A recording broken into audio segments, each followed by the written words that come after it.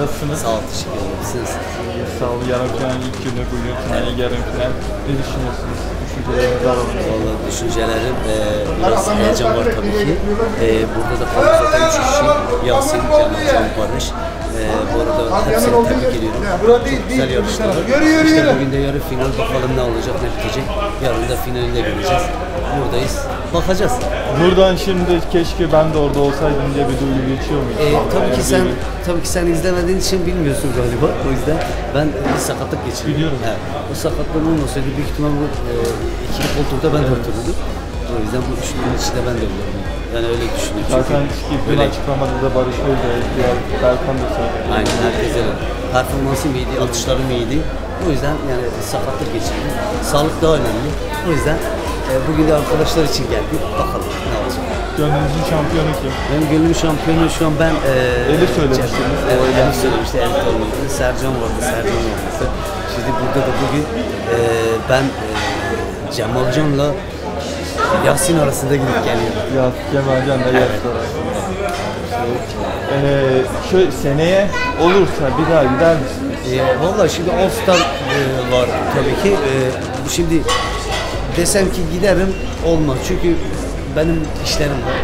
Yani tiyatrom var. Ondan sonra şimdi onlara denk gelirse yani gidemeyiz. O yüzden kısmet diyelim bakalım. O gün gelirse bir e, cevabımız olur. İstanbul'a dönüşte arkadaşlarla görüştünüz. Geçen sizi zaten Berk'le, Tolga Fermis'le, Günay'da röportaj aldık. Ondan sonra şu yeni elenen arkadaşlarla görüştünüz mü?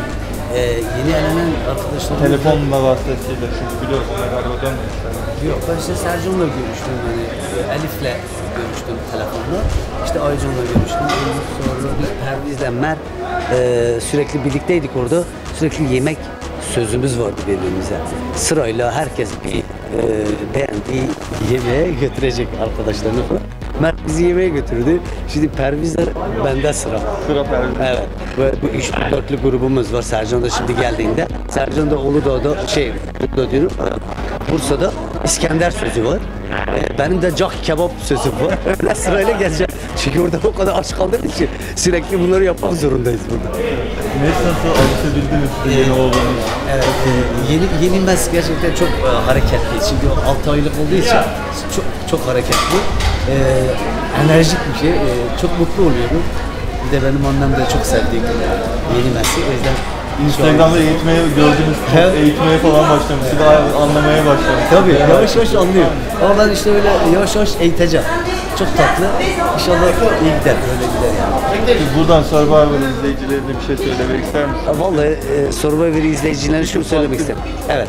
E, daha önce de söylemiştim. Yani bize SMS atan, atmayan herkese burada canı gönülden teşekkür ediyorum.